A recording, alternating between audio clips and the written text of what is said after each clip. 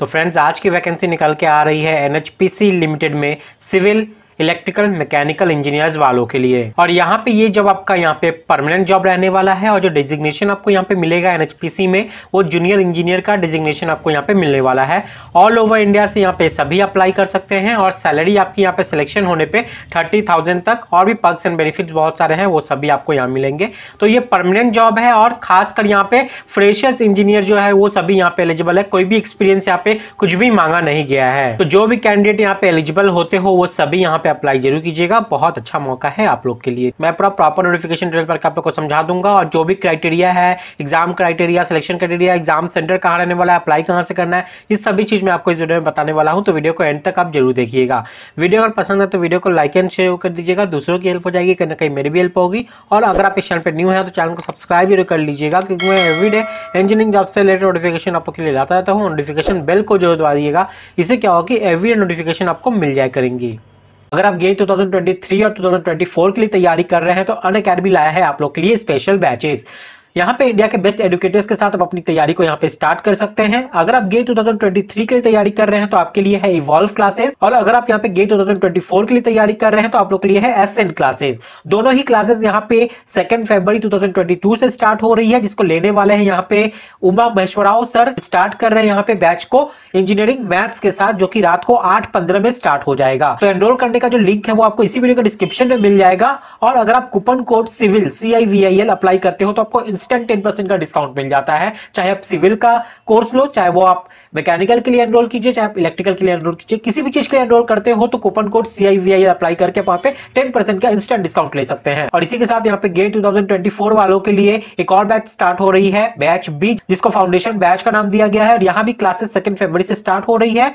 Civil code apply करने पे 10 percent का इंस्टेंट डिस्काउंट मिलेगा और यहाँ पे जनरल एप्टीट्यूड आपका स्टार्ट हो रहा है। सौरभ ठाकुर सर लेने वाले हैं। ठीक है, यहाँ भी हिंदी इंग्लिश दोनों में ही क्लासेस अवेलेबल है। फिर भी कोई डाउट कोई परेशानी है तो यहाँ पे कॉल नंबर आप देख सकते हो एट फाइव इस पर कॉल करके आप बात कर सकते हो और अपने क्वेरी को आप वहाँ से बोल के रिजोल्व करवा सकते हो। अन अकेडमी प्लेटफॉर्म पे आपको यहाँ पे इंडिया के बेस्ट एडुकेटर्स के साथ तैयारी करने का मौका मिलता है। वो आपको स्ट्रेटेजी टिप्स वो सभी चीज़ शेयर करते हैं जो आपको आगे बढ़ने में मदद करेगी। अन अकेडमी प्लेटफॉर्म पे बहुत सारे फ्री टेस्ट मॉक टेस्ट होते रहते हैं, जिसको आप फ्री में दे सकते हो और ये टेस्ट आपका ऑल इंडिया लेवल पे होता है, जिससे आप खुद को चेक भी कर पाओगे कि आपकी तैयारी कितनी अच्छी है ऑल इंडिया प्लेटफॉर्म के लेवल पे।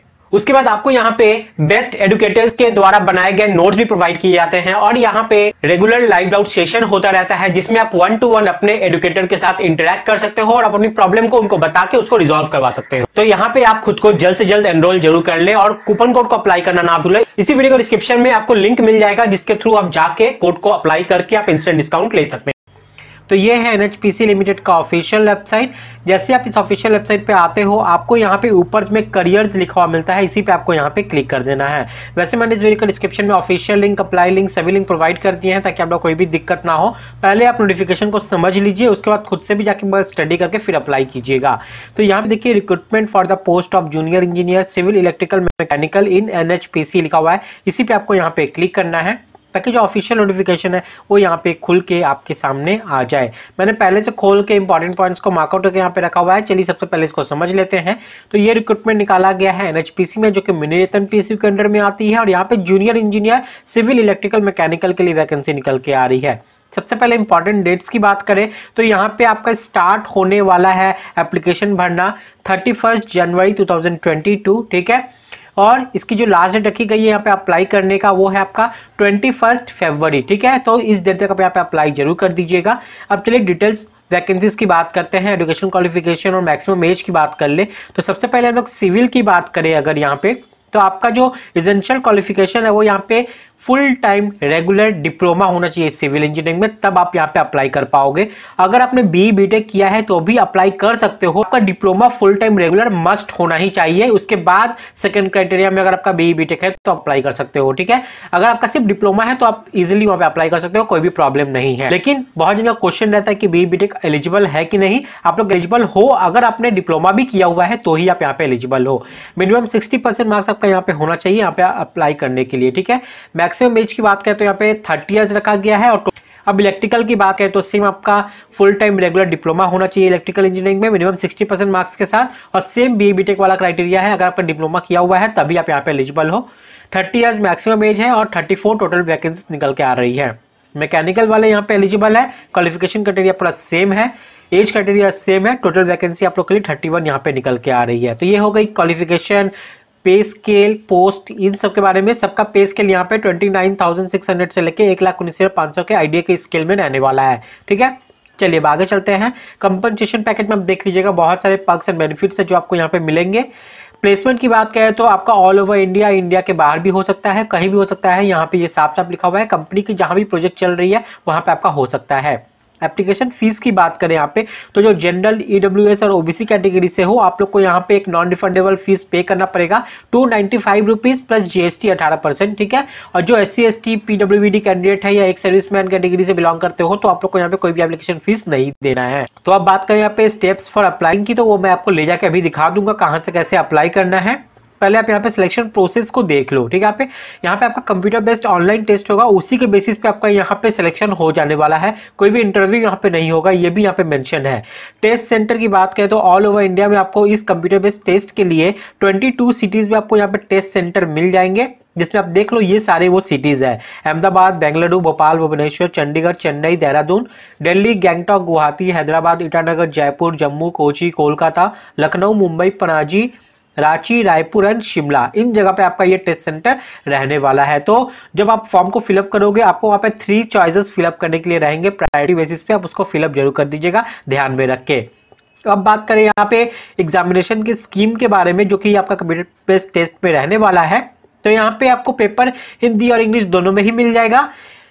तीन घंटे का ये पेपर रहने वाला है टोटल 200 मार्क्स का रहेगा और टोटल 200 क्वेश्चंस रहेंगे, सारे के सारे यहाँ पे एमसीक्यू रहने वाले हैं।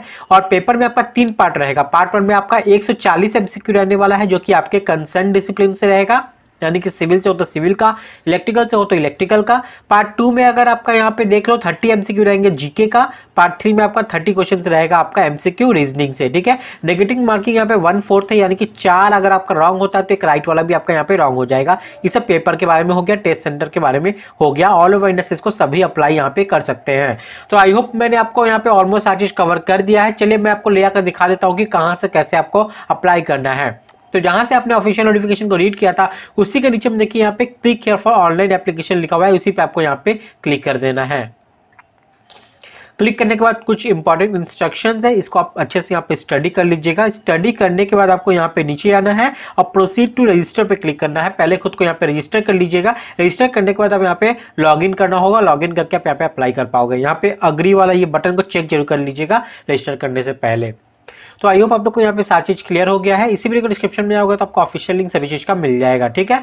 तो वीडियो अगर पसंद आई तो वीडियो को लाइक एंड शेयर कर दीजिएगा। दूसरों की हेल्प हो जाएगी, कहीं ना कहीं मेरी भी हेल्प होगी। और अगर चैनल पर न्यू है तो चैनल को सब्सक्राइब भी कर लीजिएगा, क्योंकि मैं एवरी डे इंजीनियरिंग जॉब से रिलेटेड नोटिफिकेशन आप लोग के लिए आता रहता हूँ नोटिफिकेशन बेल को ज़रूर दीजिएगा। इससे क्या होगा कि एवरी डे नोटिफिकेशन आपको मिल जाए करेंगे। और इसी के साथ आप मुझे मेरे टेलीग्राम और इंस्टाग्राम ये दोनों जगह आप लोग मुझे फॉलो ज़रूर कर लीजिएगा, क्योंकि मैं पर डे बहुत सारी चीज़ें ऐसी है जो छूट जाती है, यहाँ पे नहीं ला पाता हूँ। वो सब मैं अपने इंस्टाग्राम और टेलीग्राम चैनल पर डाल देता हूँ आप लोग के लिए। तो वहाँ मुझे आप फॉलो ज़रूर कर लीजिएगा। इसी वीडियो के डिस्क्रिप्शन में आपको ऑफिशियल लिंक मिल जाएगा। तो फ्रेंड्स मिलते हैं नेक्स्ट वीडियो में नई जॉब के साथ। तब तक के लिए बाय टाटा, जय हिंद।